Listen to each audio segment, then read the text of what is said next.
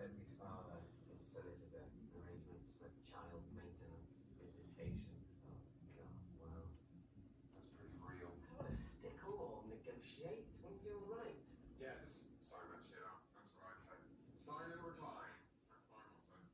Yeah. Am I really going to take his advice? The finest legal mind of his generation? Only three hours to go, three lasagnas to nail. Need another? Chicken lasagna? I've seen it on menus, but only at those pretend pubs at the airport. Hey man, What the hell are you doing? I'm gap-taping bin bags to the floor Right. Why? to protect the carpet from all the various fluids. But it looks like a crack den. I know. Why the hell have you bought so much food? Because I'm making four different kinds of lasagna. Nobody cares about the food at parties, Mark. They just want to get pissed and go ape. Go ape. Oh, I don't want people going ape, Jeremy. Because there's a missing word, isn't there? Ape shit. Anyway, I haven't got time for this. I need you to start assembling an enormous salad. Salad?